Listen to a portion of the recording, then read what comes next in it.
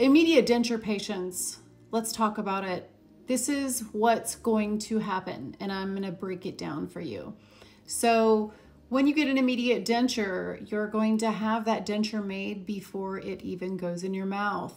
You're going to go to the dentist and they are going to do extractions. And when they're finished with your extractions, they're going to put that denture right in your mouth.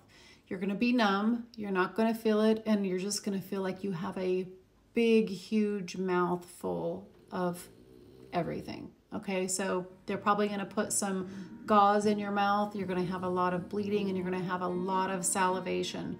So during that first 24 hours, at first you're going to be numb and then you're going to start to hurt. Okay, these are the things I want you to look for.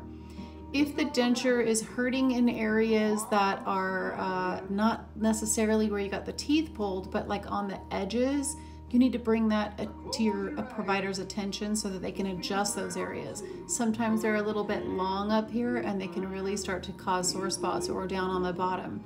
So while the numbing wears off, you're going to start to feel that pain.